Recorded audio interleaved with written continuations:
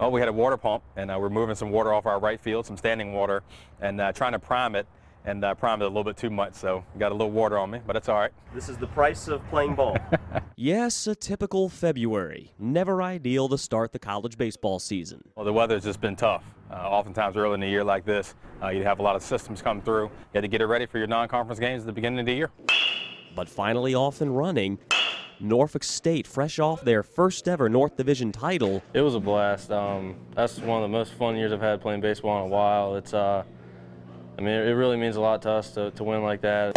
are the favorites to win the MEAC championship outright. So we're very happy about it. Guys worked hard, had a great year last year, and uh, like we've been stressing to them, you're going to have to work even harder to get to that same spot. all the work that was put in last year, all the records that were set, you know, that we wanted to build on top of that this year.